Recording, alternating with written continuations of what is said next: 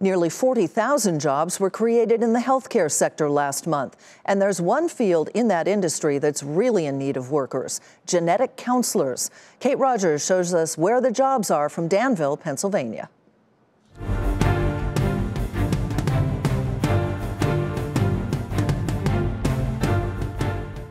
As a college student studying biology, Megan McMinn thought she wanted to become a physician's assistant. But a desire to interact even more with patients led her to genetic counseling. What genetic counseling gave me was kind of a good split between um, patient care and the hard science research end of things. At Geisinger Hospital in Danville, Pennsylvania, McMinn sees about six patients a day working in oncology. Soon, she'll move on to a cardiology clinic helping to identify genetic risks for individuals.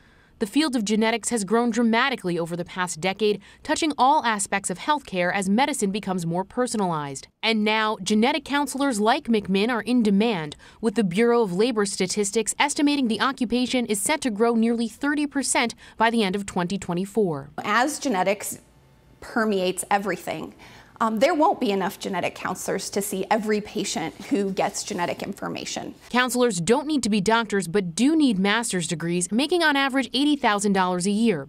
Salaries can reach up to $250,000 annually, depending on location and specialty. The National Society of Genetic Counselors is doing its part to spread the word to students in middle and high school about genetic counseling as a career choice, as the field grows and the number of graduate programs is increasing nationwide. The need for genetic counselors is already clear here at Geisinger with 25 counselors on staff. The health system says it can't hire new counselors quickly enough as genetic testing becomes cheaper and more popular. The hospital is home to the MyCode Community Health Initiative, one of the largest databases of human DNA of its kind. Over the next few years, we would need hundreds of genetic counselors. I think they will become the, the key, a key member of the team, discussing with patients and families you know, what to do next. Geisinger also has a medical school and will soon offer a master's in genomics to bring more counselors into the field.